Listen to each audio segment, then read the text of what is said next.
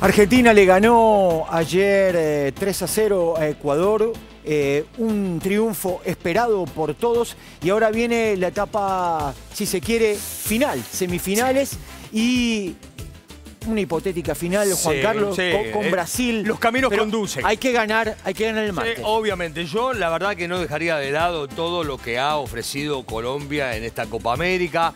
Un rival con un poderío decisivo en ofensiva. Ayer jugaron prácticamente, si bien dos retrasados, cuatro delanteros, porque jugó Borré, jugó Luis Díaz, jugadores destacados. Duban Zapata, que es el 9, eh, digamos, directo hacia el arco rival. Muriel, digamos, es un equipo complicado desde la jerarquía individual. Es verdad que para Argentina destacar, Alfredo, el hecho de los rendimientos individuales, justamente, hoy dan una tranquilidad déjame detenerme en este mínimo detalle, que parece que es Tanto que se lo critica Messi, para el pueblo, pero no lo es tanto.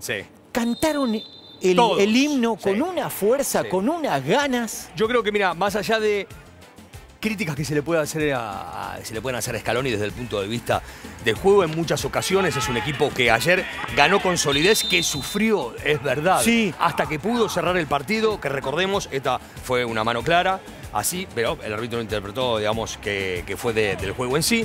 Esta situación clarísima también de Messi. Para hablar un poco del rendimiento de Messi, que me da la sensación, como dijimos en los títulos, eh, Argentina está disfrutando del Messi del Barcelona, de el Messi que nunca había explotado como uno esperaba en la selección argentina. Yo creo que está disfrutando este momento. Sí, totalmente. Y además, eh, déjame destacar una cosa antes del gol. Nueve situaciones previas hubo sí. antes de esto. Sí, sí. No, eh, yo creo que sin ningún tipo de duda, fíjate cómo lo ve Messi, aquí a De Paul, su primer gol con la camiseta de la selección argentina en más de dos años. Fíjate que De Paul termina siendo una de las banderas, más allá de Paredes. También De Paul es un futbolista que prácticamente tiene el 90% de la titularidad en los partidos, en las convocatorias que ha realizado eh, Scaloni. Eh, y bueno, de alguna manera arman un esquema de juego que ya pretende tener eh, absolutamente todo liquidado. Aquí De Paul con esa definición después de haberlo dejado Messi en una condición inmejorable para definir. Y aquí Lautaro, Lautaro también que recupera a Argentina. Lautaro la verdad que pasó totalmente desapercibido hasta esta situación que tuvo y la logró, ¿no? Con un detalle que vos marcabas en la previa, la presión de Di María y lo que significa Di María a esta selección ingresando en, en ponerle el cuarto final en los últimos 20. Bueno, ya se ha eh, transformado en una estrategia de los partidos donde acá Messi, bueno, eh, está este, marca esta pincelada. Marca registrada. Pero, digamos, a contrapierna, al palo del arquero, todo, ¿no? Es un chiche realmente, no hace falta ya destacarlo, simplemente que nos tiene acostumbrado Messi a, este tipo de situaciones.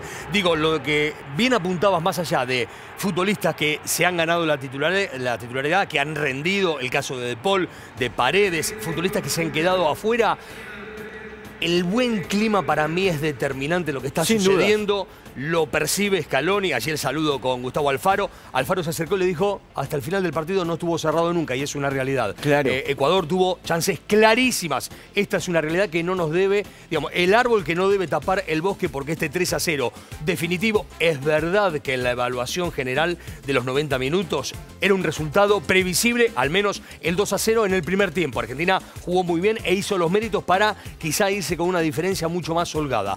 Pero a partir de los 25 minutos, por decir un número, de la media hora, pongámosle, del primer tiempo, Ecuador hizo méritos suficientes para incluso empatar el partido. Un rival que se le puso muy complicado, que Argentina sabía a quién se enfrentaba con un estudioso, un trabajador como Gustavo Alfaro, al que todos conocemos, ¿no? Te propongo que lo sigamos en un rato. Dale, cuando quiera.